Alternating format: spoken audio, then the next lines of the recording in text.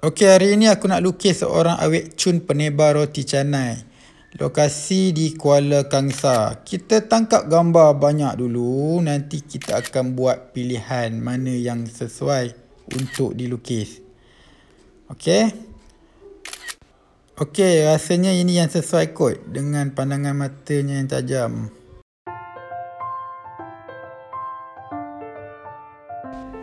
Uh, sebelum terlupa saya nak minta izin dulu pada akak uh, kerana menangkap gambar secara senyap-senyap uh, untuk buat uh, potret. Okey, uh, minta apa-apa hal pun uh, minta maaf dulu. Saya minta maaf dulu. Okey, uh, roti canai yang akak buat ni sedap. Okey, dia punya sekuah dia sedap, rotinya lembut. Uh, mana-mana yang ingin datang untuk membeli roti canai dengan akak ni ha, dialu-alukan lokasinya di uh, Candan Putri Kuala Kangsar. Ok untuk first tutorial uh, portrait ini kita perlu melukis uh, kadar banding uh, dari kepala dulu eh. Dari kepala tu dimulai dengan mata kemudian hidung dan juga kening uh, kemudian diikuti dengan uh, bahagian anatomi di bahagian uh, badan keseluruhannya. Untuk membuat kepala, uh, anggaran kadar banding uh, mata, hidung dan kening kita perlu buat garisan satah dulu uh, dengan menyilang dari atas ke bawah, kiri dan ke kanan. Itu uh, asas untuk melukis potret. Okey, uh, asas itu kalau kita tak tak ikut dengan tepat dia punya muka mungkin akan uh, tak sama lah. Uh, tak sama dengan muka yang kita nak buat nanti. Ok untuk step, uh, step seterusnya bila uh, struktur uh, muka dan badan uh, uh, gambar potret akak yang kita lukis ini dah dah dapat dan dikenal pasti uh, dengan uh, dengan betul dan tepat jadi kita buat shading punya. Dia dia punya shading pada keseluruhan gambar. Iaitu pada uh, bahagian tudung uh, raut mukanya kan? Uh, shading pada mata kening topeng mas okey teknik gosokkan boleh diguna pakai sebaik-baiknya gunakan tisu lah. Bukan dengan jari eh.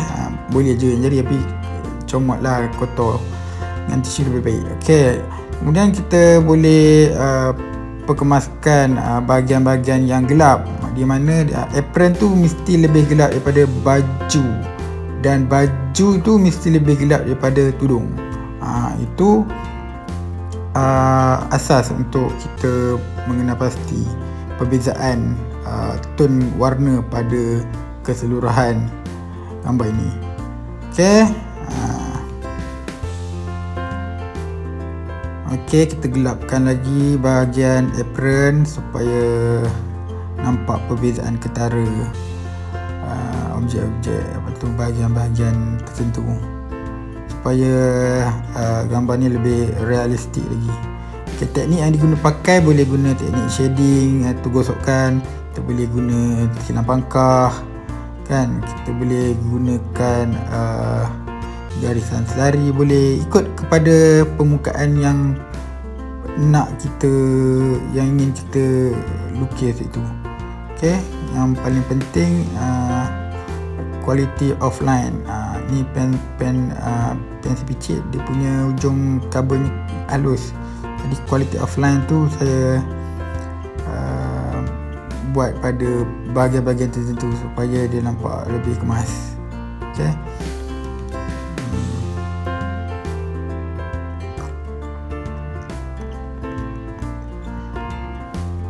Okey, step seterusnya kita guna pemadam untuk buat uh, shining ataupun uh, cahaya. Kita kena pasti bahagian-bahagian yang terang dan kita gunakan ujung pemadam itu untuk membuat cahaya. Shining itulah. Okey, ini step terakhir.